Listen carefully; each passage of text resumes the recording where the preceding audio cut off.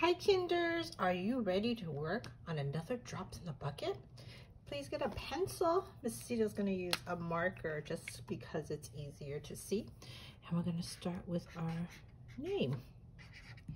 Since this is a new packet, I want you to just take off the top page. My whiteboard out of the way.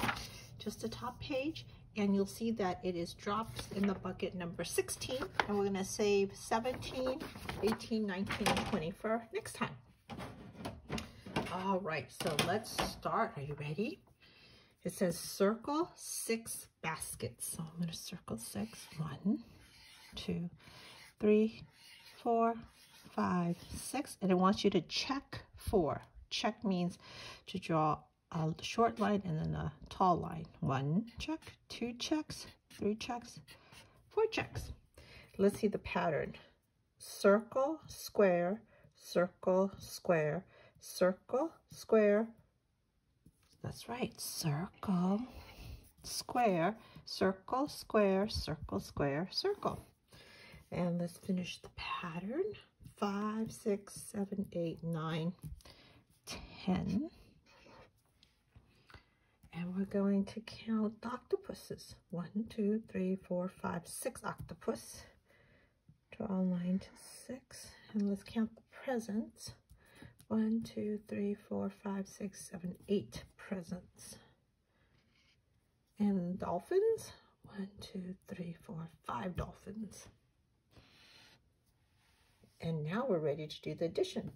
Five plus zero. So if I have five, and I don't get any more, how many do I have? That's right, I have five. And if I have three pillows and I crossed out three pillows, how many pillows do I have? I can do my fingers too.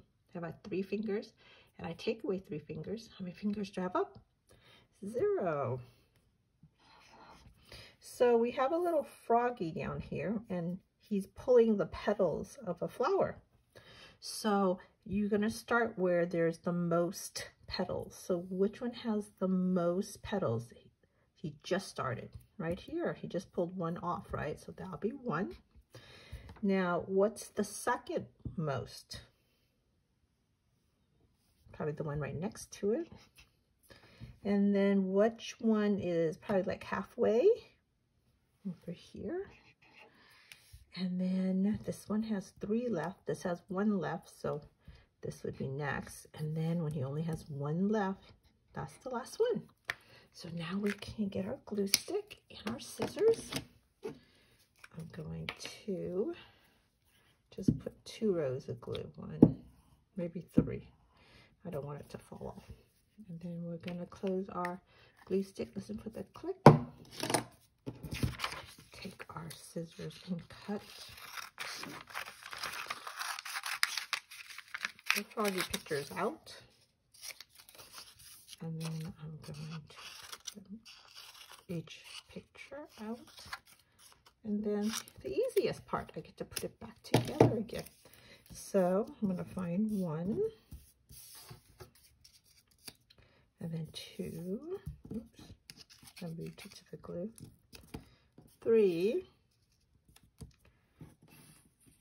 Four five. Look at that, kinders.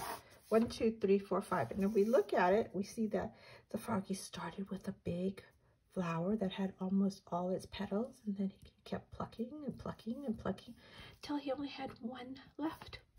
Great job, kinders. If your paper looks like Mrs. Seto's paper, give yourself a happy face. And don't forget to show this to your teacher on Flipgrid Friday. I will see you next time. Bye, kinders.